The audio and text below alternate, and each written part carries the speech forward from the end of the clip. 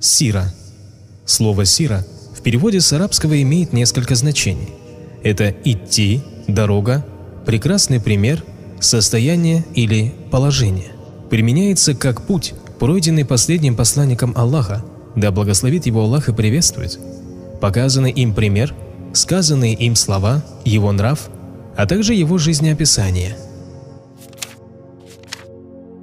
Десять лет в Медине. Первые благие деяния. Строительство мечети.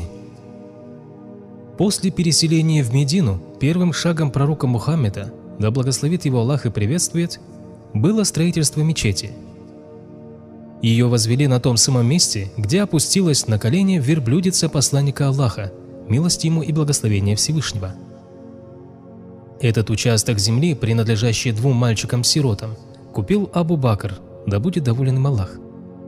Территорию расчистили, из глиняных кирпичей возвели стены, крышу перекрыли пальмовыми ветвями, пол посыпали песком и мелкими камешками. В мечети сделали три двери – а Кыблу ориентировали на запад, то есть на Иерусалим. Пророк, да благословит его Аллах и приветствует, сам принимал участие в строительстве, перенося кирпичи и камни вместе со своими сподвижниками. К мечети были пристроены два помещения, предназначенные для жен пророка, да благословит его Аллах и приветствует, Сауда бинт Зам'a и Айши, да будет доволен ими Аллах. Закрепление призыва к молитве.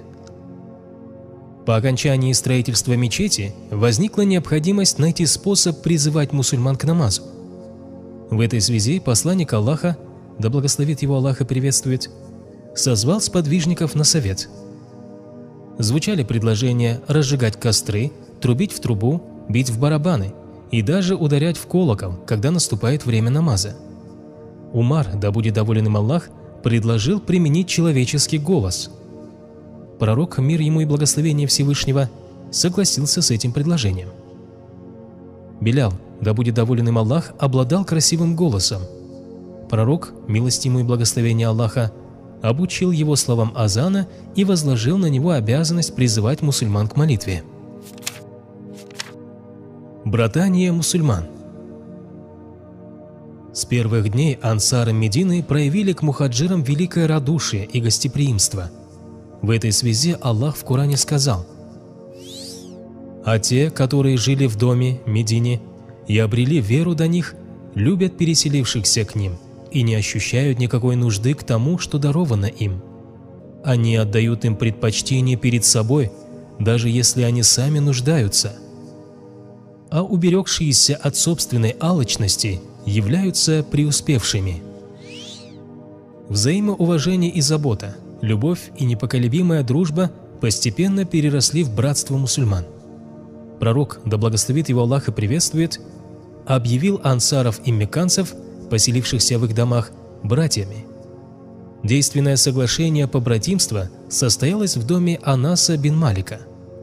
К братанию были приведены 90 человек, половину из которых составляли ансары – другую половину – мухаджиры. Вначале побратимы могли наследовать имущество друг друга. Такое положение сохранялось какое-то время, пока не было отменено. Между тем, узы братства остались. Исламское общество.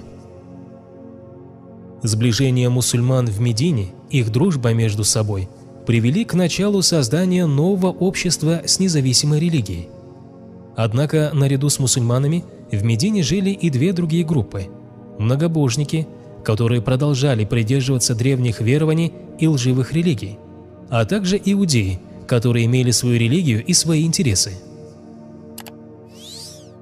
Иудеи – название народа, берущего свое начало от Исхака, второго сына пророка Ибрахима.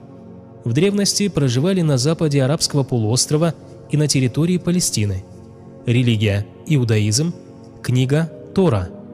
Почитаемые пророки – Муса, Сулейман, Давид, миром и благословение Аллаха и другие. Под руководством пророка Мухаммеда, да благословит его Аллах и приветствует, было заключено соглашение, регулирующее отношения между мусульманами. Кроме того, были заключены правовые соглашения, регулирующие отношения между мусульманами и многобожниками, мусульманами и иудеями. Однако через короткое время количество многобожников в Медине уменьшилось. Многие из них вместе с влиятельными предводителями приняли ислам. Поэтому от них не исходило какой-либо угрозы для мусульман. Соглашение с иудеями В Медине проживали три племени иудеев – Бани Надир, Бани Кайнука и Бани Курейза. В доисламскую эпоху эти племена прибыли на Аравийский полуостров в качестве беженцев в целях поиска места появления пророка из их числа. В их древних писаниях говорилось, что последний пророк появится в местности, где произрастает множество фиников. Поэтому ими был выбран город Ясреб, впоследствии переименованный в Медину. Однако, увидев переселение посланника Аллаха, мир ему и благословение Всевышнего, в Медину, и то, что пророк явился не из их числа, иудеи отказались уверовать в него и вышли против мусульман. Основное место жительства иудеев было на юге Медины, на густо растущей финиками территории. Пункты соглашения с иудеями. Иудеи Медины свободны, имеют право свободно исповедовать свою религию. В случае внешнего нападения на Медину, каждый из них должен защищать город и оказывать помощь другому – Иудеям запрещается оказывать покровительство и помощь мекканским язычникам. После заключения этого и других договоров Медина превратилась в центр мира и согласия. Пророк, да благословит его Аллах и приветствует, и мусульмане продолжали активный призыв людей к исламу. Посланник Аллаха, мир ему и благословение Всевышнего, часто посещал собрания жителей. Он обучал тех, кто уверовал, основам ислама, благочестию, читал аяты священного Корана –